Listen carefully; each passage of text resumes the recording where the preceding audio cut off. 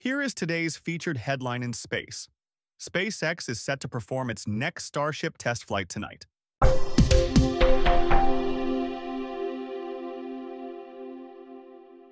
Today is October 13th, 2025, and you're listening to SpaceNews First Up, brought to you by BlackSky.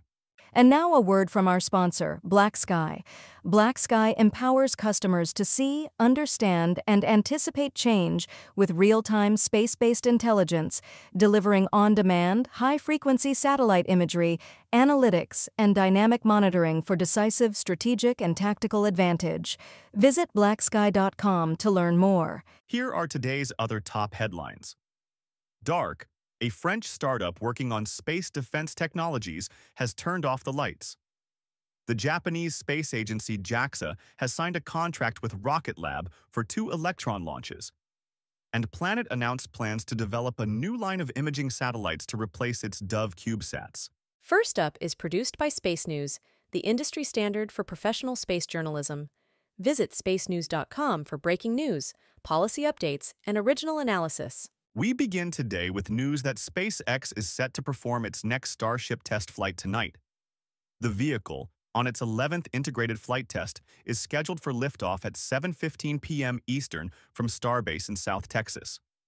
The mission will fly a similar suborbital profile to the previous flight in August, including tests of satellite deployments, the vehicle's thermal protection system, and alternative engine configurations for bringing the Super Heavy booster back. This will be the final flight of version 2 of the vehicle, as SpaceX prepares version 3 for a debut as soon as the end of the year. The company is also emphasizing the limited impact Starship launches have on airspace, noting that for Flight 10 all airspace was cleared within 9 minutes of launch. This comes after concerns that Starship launches from Florida could have severe impacts on airports in the region. Dark, a French startup working on space defense technologies, has turned off the lights. The company announced last week that it shut down after four years of operations and $11 million raised. Dark was founded by veterans from European defense contractors MBDA and Thales, with the goal of demonstrating a space weapon system that would launch from a modified commercial aircraft, navigate to orbital targets, capture them, and deposit them in the South Pacific Ocean. However, the company said the conditions needed to advance its vision never materialized for us in France.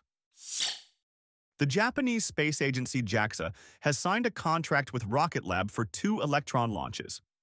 The first launch, under a contract disclosed Friday, will be for the RAISE 4 technology demonstration satellite, set to fly in December.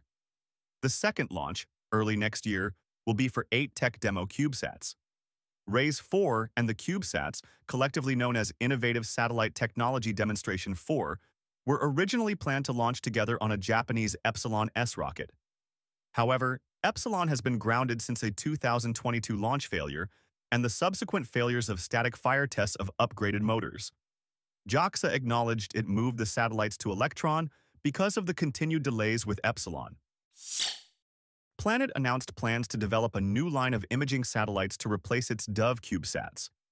The company said last week it is developing OWL, a satellite capable of providing 1-meter imagery, sharper than the 3 to 4-meter imagery from current SuperDove satellites. The OWL satellites will also have NVIDIA processors for AI applications, such as onboard processing of images.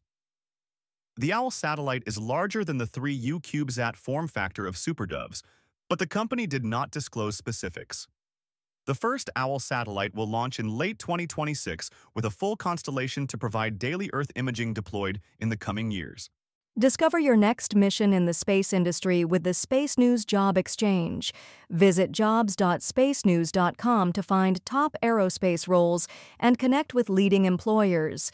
And for employers, use discount code JOBEX for 15% off your next purchase. In other news, Chinese launch startup Orienspace successfully conducted its second launch late Friday.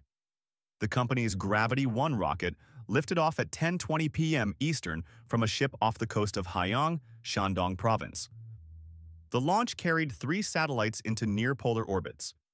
The Jilin 1 Wideband 02B07, Earth observation satellite for Changguang Satellite Technology, and the Shutian Yuxing 01 and 02 satellites developed by GeeSpace, the space arm of automaker Geely.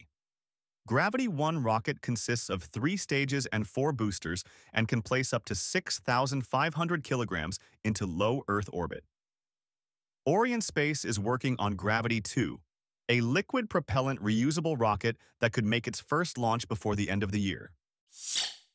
Florida Today reports that Blue Origin plans to add to infrastructure at its Florida launch site.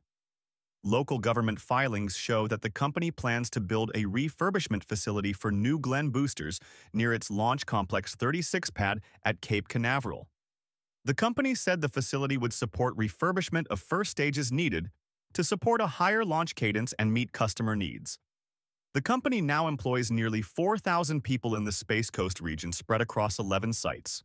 Share your company's news with the entire space industry through Stellar Dispatch, the press release service from SpaceNews.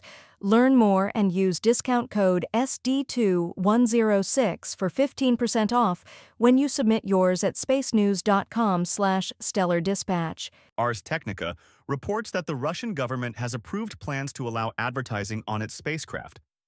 Roscosmos said that changes in federal law will allow it, starting in January, to place advertising on the exterior of spacecraft, provided the ads do not jeopardize safety.